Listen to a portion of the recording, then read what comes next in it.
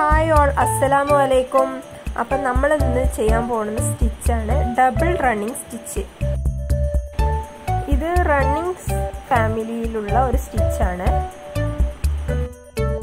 ഇത് റണ്ണിങ് സ്റ്റിച്ചിന്റെ ഒരു വേരിയേഷനാണ് ഇതിന് രണ്ട് കളർ നൂൽ ആവശ്യമുണ്ട്. മുമ്പ് നമ്മൾ ചെയ്തതുപോലെ ഓരോ നൂലിൽ നിന്നും മൂന്ന് ഇഴയാണ് നമ്മൾ എടുക്കുന്നത്.